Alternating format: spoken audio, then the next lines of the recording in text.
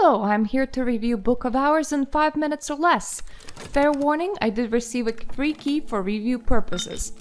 Also, don't mind what is happening on screen, I would find Book of Hours to be very difficult to explain, so honestly, unless you spend some time in game yourself, it is all just pretty moving pictures. Book of Hours is a fairly addictive puzzle game that gives you practically no information and that you figure out as you go along. Let's start from the pros. Unlike the developer's previous game called Cultist Simulator, Book of Hours has no time pressure. The days and seasons come and go, but you have infinite time to observe them coming and going. Progress in the game is achieved through discovering things, reading books, and unlocking new chambers in your house. No matter what activity you choose to do on the day, all activities being fairly small and easy to achieve a singular step in, means that Book of Hours ends up with an addictive gameplay loop where it is easy to tell yourself, I will only read one more book, or I will only unlock one more room.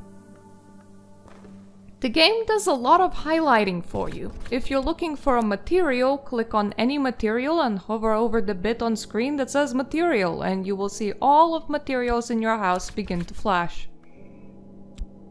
There's a sort button for different parts of your inventory, not to mention the inventory can be pulled out and shrunk as you like. Loads of game hours in one playthrough. So far I've only unlocked the ability to have a minor ending and I'm 33 hours in. If I want a super duper awesome ending, then there's more gameplay hours remaining. Let's move on to the cons. The game is least confusing if you approach it already knowing Cultist Simulator lore. There's very little handholding and you'll find out what the world is from reading the tidbits on the books that you've read, but if this is your first game from the developer, it will be a hundred times more confusing than if you came in already knowing the lore. On your first playthrough, the way that you'll figure out what you're doing is by clicking around. Seriously, it took me like 3 hours to even figure out how to properly read books. However, you can level in the skill tree and use up items in a way that it will make it very hard for you to progress at all. In other words, you can screw up the rest of your gameplay for yourself by simply exploring and trying to figure out how to play the game to begin with. This is really a minor object managing simulator. Despite trying my best to group drinks in the kitchen, food in the pantry, and books based on their color, level, and if they were red or not, and similar, the thing that I catch myself doing a lot is flying all over the screen thinking, I remember I had that six moth drink somewhere.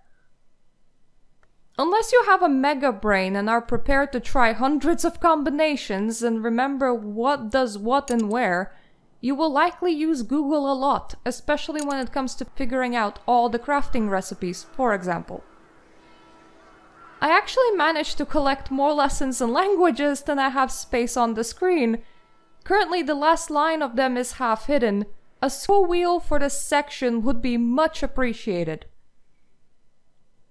Overall, I gotta say that there's something very hypnotic about this game, and for me this is the most entertaining game key that I ever received for review purposes. 10 out of 10 would lose 11 hours staring at the screen thinking one more thing, and then being very dazed and confused once I leave my computer screen all over again. Seriously, this has somehow ticked all the boxes for what makes games engaging, and even when I'm done with my playthrough, I'm likely to come back for another one. So the game is very, well... It is flawed, but somehow it is actually fun. So if you feel that this might be a your cup of tea, I do suggest trying it.